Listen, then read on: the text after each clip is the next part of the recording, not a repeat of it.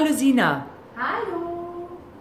So, du bist ja jetzt hier bei uns im Hundesalon Lilly schon, äh, ich meine, das sechste Mal heute gewesen und äh, machst ja hier eine intensive Fortbildung Ja. mit äh, gewissen Schwerpunkten. Die kannst du ja vielleicht gleich den äh, Zuschauern mal mitteilen und äh, dann, wann du deinen eigenen Betrieb eröffnen möchtest und wie dein Salon heißt, wo die Kunden dich dann in Zukunft treffen können, ja? Also mein Name ist Sina und äh, ja, wie sie schon gesagt hat, ich habe die Ausbildung oder Fortbildung hier im Hundesalon Lilly nochmal gemacht, um einfach nochmal mein, meine Scherentechnik und meine Arbeit am Hund mit der Schere zu vervollständigen und um gut schneiden zu können, weil mir das sehr wichtig ist, einen Hund auch mit der Schere schneiden zu können. Mhm. Und ihr findet mich dann ab dem 4.1.2020 in Bonn-Dottendorf. Genau, da habe ich einen kleinen super süßen Laden und der nennt sich Loose Styling Lounge. Also wenn ihr Lust habt, kommt vorbei im Loose Styling Lounge. Ihr seid herzlich willkommen.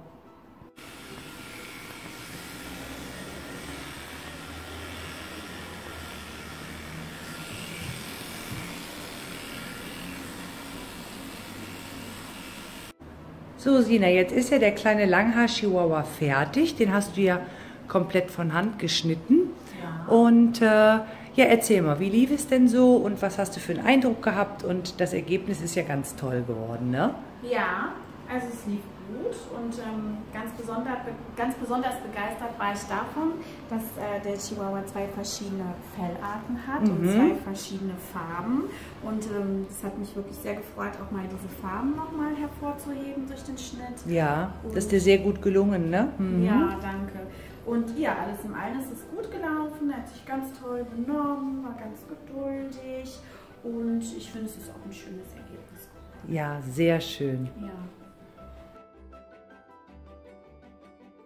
Vielleicht erzählst du den Zuschauern einfach nochmal, was du so bisher mitgenommen hast und wie so deine äh, Impressionen, deine Eindrücke sind und ja, dass sich die Leute einfach einen gewissen Eindruck von dir und von deiner Arbeit machen können. Ja, sehr gerne. Also ich kann einfach nur sagen, ich habe unheimlich, unheimlich viel mitgenommen. Ähm, ich habe an, angefangen bei Scherenübungen. Ich habe regelmäßig Scherenübungen gemacht, die mir unglaublich viel geholfen haben, dann selbst am Tier die Scherenübungen umzusetzen.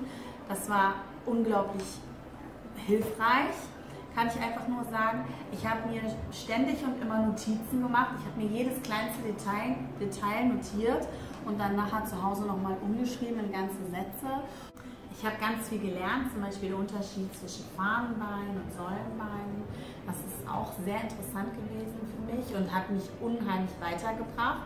Ähm, diese Nähe zum Tier, ich traue mich am Tier zu arbeiten, das fand ich auch ganz wichtig, dass keine Distanz mehr herrscht, sondern dass ich durch diese kleinen Übungen wirklich geschafft habe, den Hund als Ganzes zu schneiden und auch gut zu schneiden. Mhm, wunderbar, prima. Ne, auch der Unterschied zwischen Maschinenschnitten oder Kombination zwischen Maschinen- und Scherenschnitt oder grundsätzlich, das hast du ja auch bisher schon gemacht, einen Hund komplett von Hand geschnitten, ne? Genau, das war auch unheimlich lehrreich, dass ich dann einfach sagen konnte, ich bin jetzt bereit, einen Hund von, von Hand zu schneiden, durch die Scherenübungen, die ich hier beigebracht bekommen habe. Ich konnte jede Scherenübung eins zu eins am Tier umsetzen. Toll. Und Prima. aber auch die Maschinen- und Schertechniken habe ich hier auch nochmal wunderbar gelernt. Zum Beispiel Luftscheren oder in welchem Winkel ich die Maschine einfach nur halte, um ein verschiedenes Schnittergebnis zu bekommen. Das war wirklich auch sehr interessant für mich nochmal zu lernen. Und das habe ich auch vertieft.